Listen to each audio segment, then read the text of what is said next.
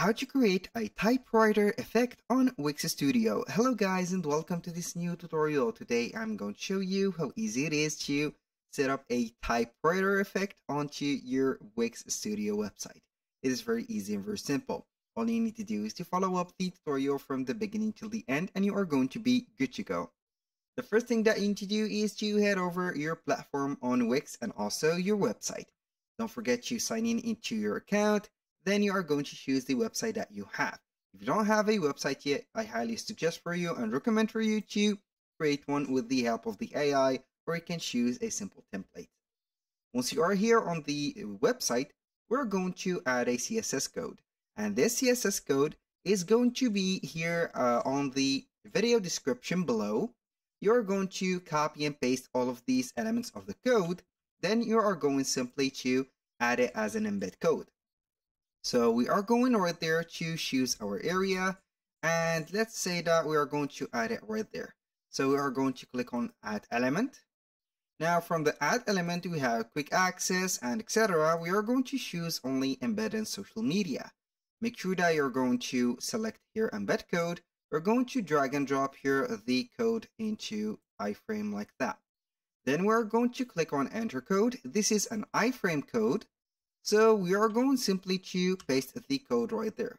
We are going to click on update and we are going to see here a writer or typewriter effect. As you can see here, I think we have two or three words. Here we have, I think, three words or three cities. And I'm going to explain to you how we can do that. So how we can change these words. So you're going to head over the code. We are going to uh, here uh, scroll till the end. Here we are going to see the uh, type string. We have here type strings.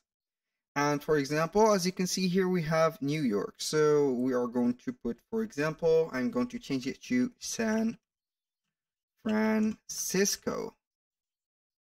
Like that.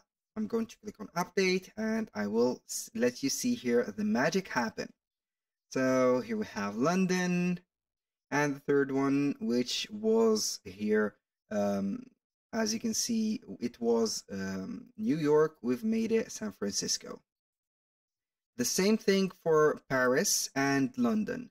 You can go ahead and modify those and you can modify the pause time and you need to make it even for the three type string so here we have it for the colors and everything, you are going to see here the color and then you are going to put it right away. Here we have the border right color and etc. So I highly recommend for you to leave it as it is. If you know how to code or you know how to read the code, you're going to modify here the code and put, for example, a color or a code of another color.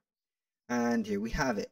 So you are going to make it right there a little bit bigger to show up the uh, everything. So that was all for today's video. Thank you guys for watching. I hope that you have enjoyed the content and hope to see you soon on the next one.